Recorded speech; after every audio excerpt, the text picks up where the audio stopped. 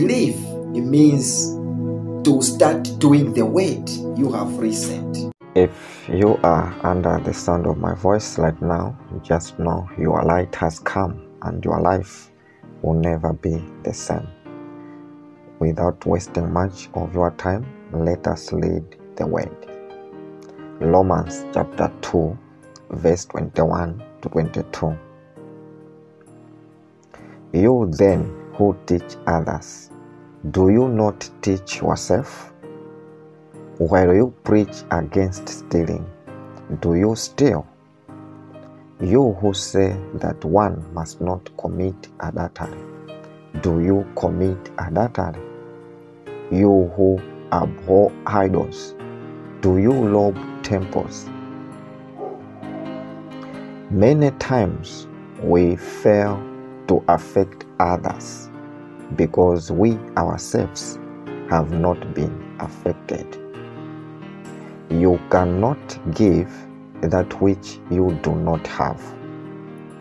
The Spirit of the Lord that does not have any effect in us cannot have an effect in those people around us.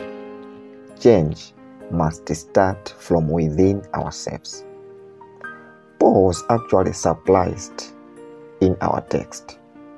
He saw what was not supposed to be among preachers and teachers. You must carefully look at those you are following and see to it that they are a good example to follow. Paul said in 1 Corinthians chapter 11 verse 1, "Follow me as I follow the example of Jesus." A leader does not say, "Do as I say." He says, "Do as I do." We do not follow someone just because he says it. You must follow doers of the word. This world is now full of hypocrites. Be smart.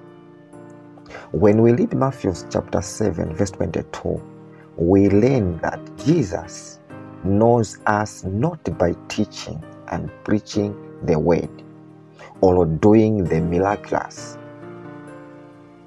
healing, prophesying, but he knows us by doing the word. He identifies us by being doers of the word.